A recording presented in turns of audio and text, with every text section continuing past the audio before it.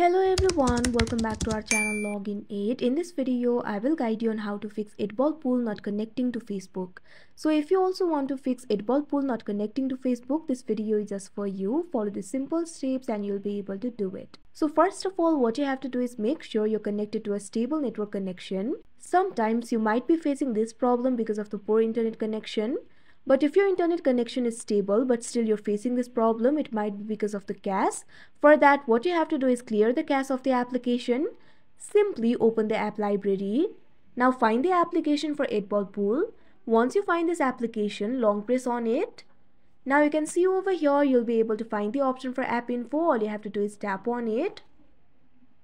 Now you'll be led to the app info interface. Over here you'll be able to find the information of this application. What you have to do is find the option for storage and cache. Simply tap on it. Now you'll be led to the storage interface. Over here you'll be able to find two options clear storage and clear cache. Simply tap on the option clear cache that you can see right over here. Now your cache has been cleared. Your problem should be fixed now. But if your problem is still not fixed, what you can do is try updating the application.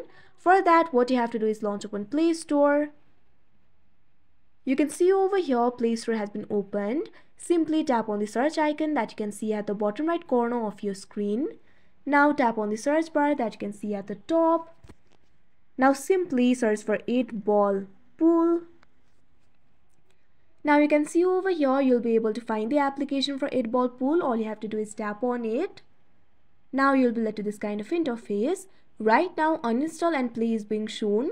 But if your application is not updated, instead of play option, you'll be able to find the option for update. All you have to do is tap on it. After that, your application will be updated and your problem should be fixed. But if your problem is still not fixed, what you can do is try uninstalling the application and install it again.